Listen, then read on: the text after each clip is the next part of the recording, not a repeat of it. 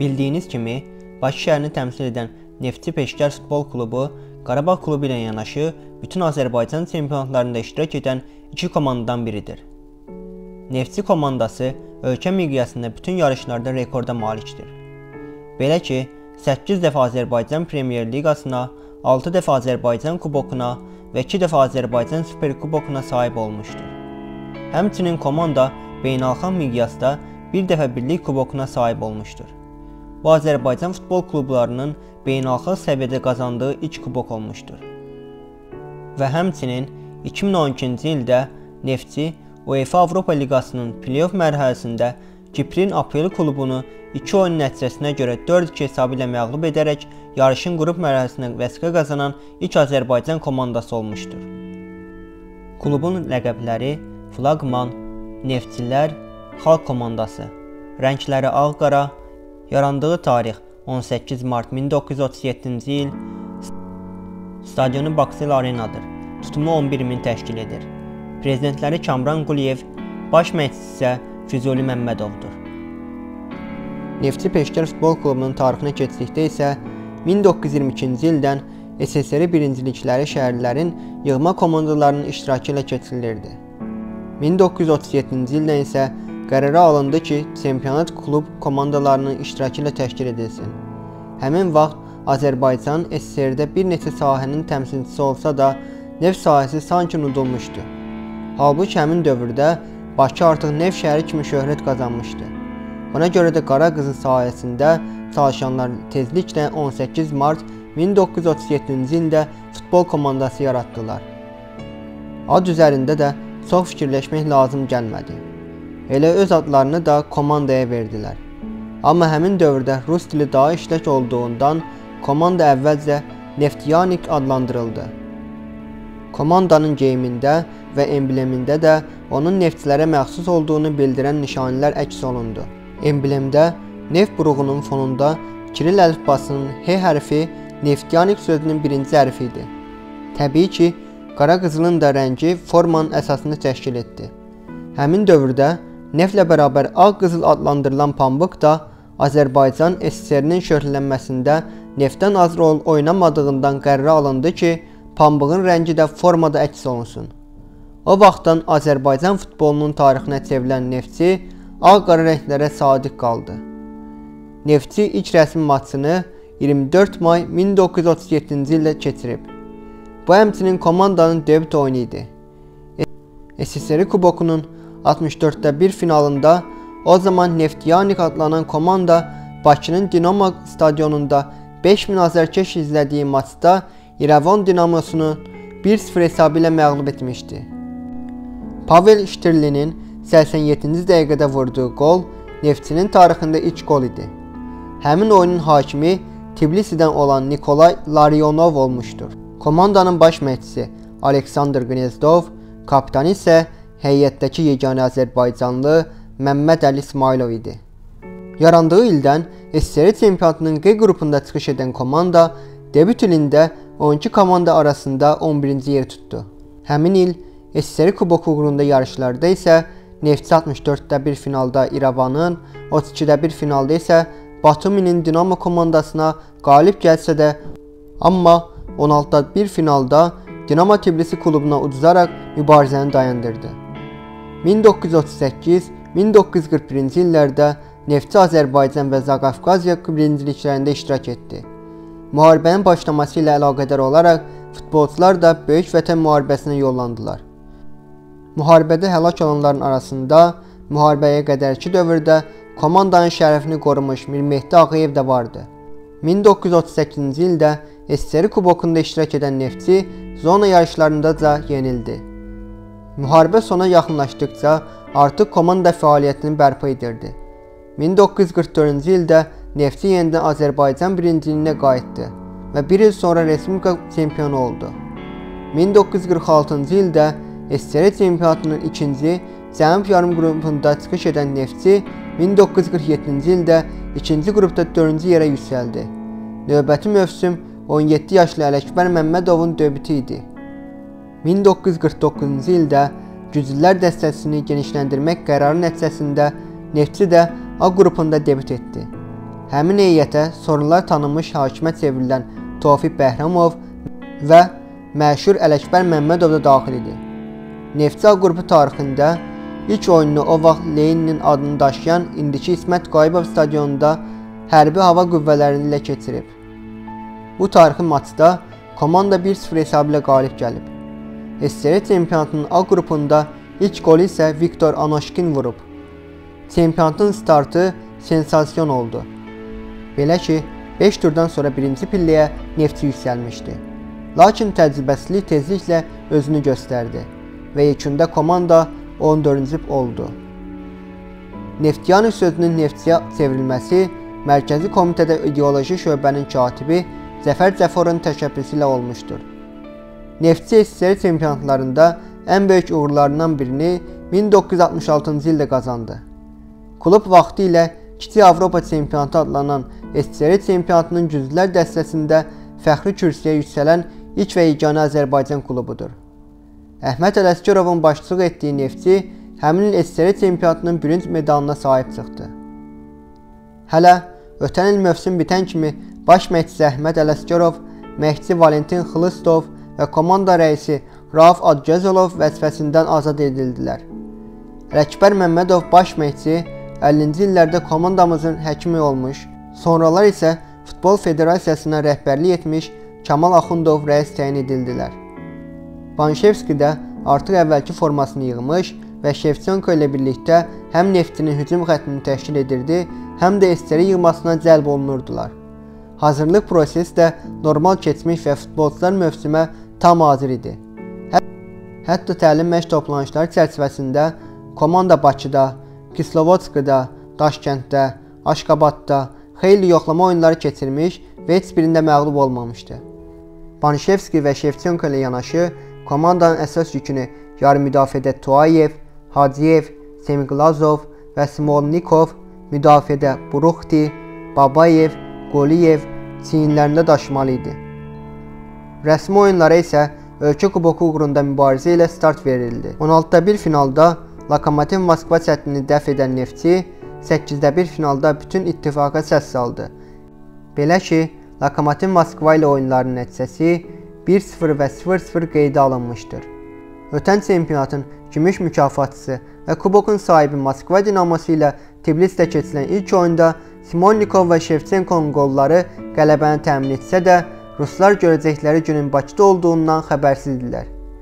Cavab oyununda Beskov və Yaşinin rəhbərlik etdiyi Dinamonun daşı daş üstə qalmadı və Banişevskinin het-trikinə Simonnikovun daha bir qolu qoşulunca 4-0 hesablı qələbə hamını çaşdırdı.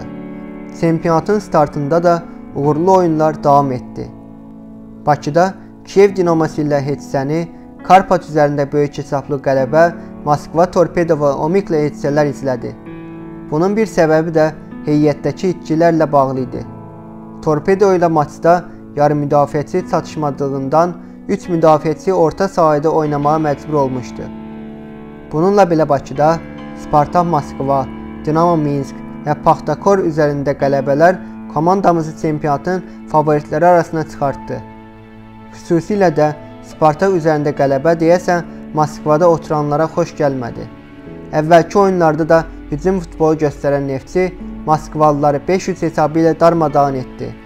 Belə qollu qarşılaşmalardan sonra 9 tur yekununa görə Neftçidən Şevçenko, Banşevski və Tuayev hərəyə 5 qolla bombardinlər siyasında idilər. Ölkə kuboku uğrunda Spartakla yarımfinal oyununda 5-0 hesabı ilə məğlub olan Neftçi çempionatın ikinci dövrəsini olduqca zəif keçirməsinə rəğmən 9-cu yeri tutdu. Azərbaycan müstəqilliyini bərpa etdikdən sonra da futbol həvəskarları Neftçinin timsalında parlaq oyunun şahidi oldular. Təsadüfi deyil ki, 1992-ci ildə Futbol üzrə ilk milli Azərbaycan çempionatında qızıl medallar məhz Neftçiyə qismət oldu. Paytaxt komandasına çempion titulunu Əhməd Ələsgərov qazandırdı. Növbəti nailiyyət bundan 3 il sonra əldə edildi. Neftçi 1995-ci ildə Vaqif Sadıqovun rəhbərliyi altında ölkə kuboku uğrunda yarışda bütün rəqiblərini üstələdi. 1995-1996-cı il mövsümünü isə Neftçi üçün unudulmaz çempionatlardan biri kimi xarakterizə etmək mümkündür. Çünki klub həmin mövsümü həm ölkə çempionu, həm də ölkə kubokunun qalibi kimi qızıl dubulla başa vurdular. Çempionluqla yanaşı ölkə kubokunun qazanılmasında 3 məşqçi Vaqif Sadıqov, Asif Əliyev və Kazbek Tuayevin əməyi keçdi. Vaqif Sadıqov həmçinin Neftçi klubuna 1993 və 1995-ci illərdə Azərbaycan Superkubokunu da qazandırmışdır. Neftçi 3-cü dəfə 1997-ci ildə çempion adına layiq görüldü. Lakin Afar yekunda əsas və yeniyetmə komandaların topladığı xalların cəmini əsas götürərək qızıl medalları Qarabağa verdi. Hər halda ədalət öz yerini tapdı. UEFA çempion qismində Neftçini tanıdı və Çempionlar Liqasında iştirak hüququna da flaqman yiyələndi. 1999-cu ildə növbəti dəfə Neftçi klubu ölkə kubokunu Kazbek Toyevin sayəsində qazandı. 2004-cü ildə Ağqaralar ikinci dəfə qızıl dubla imza atdılar. Kazbek Toyevin yetirmələri 2004-cü ildə həm milli çempionatda, həm də ölkə kubokunda hamıdan güclü oldular. 2005-ci ildə Ağasəlim Mirzavadovla Neftçi çempionatın sonunda Xəzər Lənkəran klubu ilə eyni xal yığdığı üçün çempionu müəyyənləşdirmək üçün qızıl oyunu keçirdi. Gəncə şəhər stadionunda keçirilən oyunda Ağqarılar Xəzər Lənkəranı 2-1 hesabı ilə üstələyərək ardıcıl ikinci dəfə çempionluğu bayram etdi. Bundan başqa flaqman beynəlxalq turnirlərdə də ölkəmizi layiqincə təmsil edib. Neftçi Avrokuboklarda ilk dəfə qələbə qazanıb. Bu 1996-cı ildə Bakıda Bolqarıstan Lokomotivi ilə üzərində 2-1 hesablı qələbəyə əsaslanır. Çempionlar Liqasında 2 il ardıcıl mərhələ adlayıb. 2004-2005 və 2005-2006-cı il mövsümü. Avrokuboklarda ilk səfər qələbəsinə nail olub. 2005-ci ildə İslandiyada Hafnarfjordun üzərində 2-1 hesablı qələbə. Avrokuboklarda 2 mərhələ adlayan ilk komanda olub. 2008-ci ildə Intertoto kuboku. Flaqman həmçinin MDB və Baltikyanı ölkələrin çempionlarının Birlik kuboku uğrunda yarışda ilk dəfə finala yüksələn və ilk dəfə baş mükafata sahib çıxan Azərbaycan klubudur. Neftçinin ənənəvi forması qara köynək, ağ şort və eyni rəngli corabdan ibarət idi. Lakin illər ərzində qara köynək ağ və qara zonaqlarla əvəz olunmuşdur. Klubun forması müxtəlif illərdə müxtəlif idman firmaları tərəfindən hazırlanıb. Həmçinin hal-hazırda klubun formaları Nike tərəfindən istehsal olunur. 2004 və 2006-cı illərdə klubun titul sponsoru Heydər Əliyev adına Bakı Neft Emal Zavodu 2006-2015-ci illərdə Sokar, 2015-2017-ci illərdə Asan Xidmət olmuşdur. Hal-hazırda klubun formasında heç bir titul sponsoru qeyd olunmayıb. Neftçi Azərbaycanda ən çox dəstəklənən klublardan biridir. Ölkənin ən çılğın azarkeşləri Neftçi azarkeşləri hesab olunur. Müxtəlif illərdə Neftçinin bir sıra azarkeş qrupları olmuşdur. Onlar arasında Flagman, Ultra Neftçi, Neftimania və Forza Neftçini qeyd edə bilərik.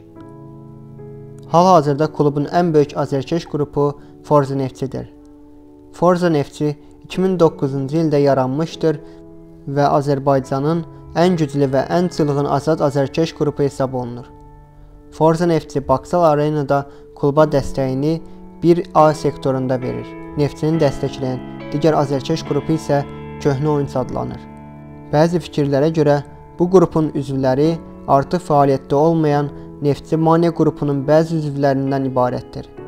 Vaxtilə Tofiq Bəhrəmov adına Respublika stadionunda bəzi fikirlərə görə bu qrupun üzvləri artıq fəaliyyətdə olmayan qrupun Mania qrupunun bəzi olduğunu ibarətdir. Hal-hazırda Baksel Arenada 4A sektorunda neftçiyə dəstək olurlar. Klubun azərkeşləri Amerika Birləşmiş Ştatlarında, Böyük Britaniyada, həmçinin Türkiyə, Rusiya, Almaniya və Hollandiya və digər böyük Azərbaycanlı icması olan ölkələrdə var. Lakin 2010-cu illərdə Neftçi öz mövqeyini təkmilləşdirməsinə baxmayaraq, klubun orta tamaşaçı sayı aşağı səviyyəyə düşmüşdür. Klubun ən məşhur tərəfdarlarına aktyorlar Bəhram Bağırzadə, Bəşir Səfəroğlu, Lütfəli Abdullayev, bəstəkarlar Qara Qarayev, Fikrət Əmirov və Niyazi, cüdoçu İlham Zəkiyev, repçi Anar Nağılbaz və alim Mirəli Qaşqay daxildir. Prezidentlərə gəldikdə 1988-97-ci illərdə Aydın İbrahimov, 97-2001-ci ildə Aqil Paşayev, 2001-2003-cü ildə Ramiz Mirzəyev, 2004-2008-ci ildə Rövnəq Abdullayev, 2008-2010-cu ildə Əkbər Hacıyev, 2010-2015-ci ildə Sadıq Sadıqov, 2017-2018-ci ildə Orxan Hüseynzadə, 2018-ci ildən bu yana Kamran Quliyevdir.